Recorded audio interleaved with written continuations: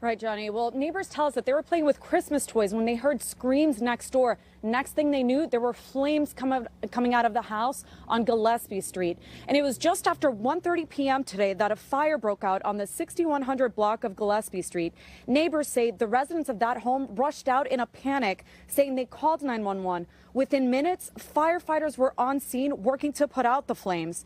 Chopper video here shows firefighters on the roof of the home and other adjacent homes. The fire was placed under control at 2:35 p.m. Now fire Cap fire Captain Derek Bowmer says three houses were affected by the fire and a total of 12 people were displaced. There were no injuries to residents or firefighters, but Captain Bowmer says he has the following message to people. In this holiday season, we're asking everyone call 311 for smoke alarms. Uh, we don't know if there were smoke alarms in there. They could have been. Have a fire escape plan. We want to ensure that, that all people have that throughout the city and have a happy Merry Christmas and Happy New Year. Too.